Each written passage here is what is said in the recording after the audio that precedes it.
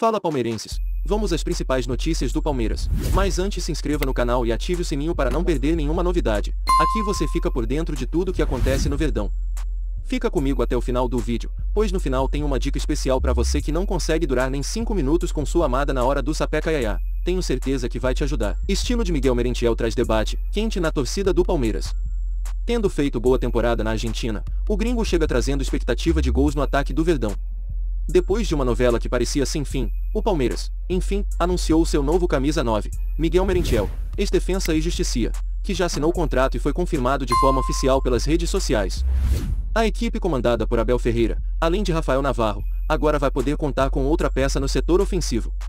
Porém, muitos torcedores do Verdão ficaram frustrados com esse acerto, já que o uruguaio é considerado desconhecido, diferentemente do que se era esperado, especialmente após verem rumores sobre Pedro, Luiz Soares, Cavani, Lucas Alario e etc. Por outro lado, outros estão satisfeitos com essa novidade e enviaram apoio ao gringo, de 26 anos. As características, no entanto, chamaram atenção, em especial por não ser um centroavante fixo, como era esperado.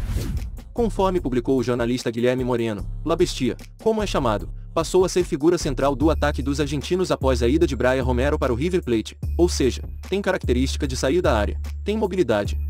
Com passagens pelo Valencia e Lorca FC da Espanha, também jogou pelo Godoy Cruz, da Argentina, além de Eutanque Sisley e Penharol, do Uruguai. Até aqui, em toda sua carreira, foram 161 jogos disputados, com 44 gols marcados e 8 assistências, levantando a taça da Copa Sul-Americana e Recopa, em 2020 e 2021. Respectivamente. E aí torcida Alviverde, o que vocês acharam dessa contratação? Será que o Labestia será um jogador à altura do 9 que os palestrinos estavam esperando? Deixe sua opinião abaixo nos comentários.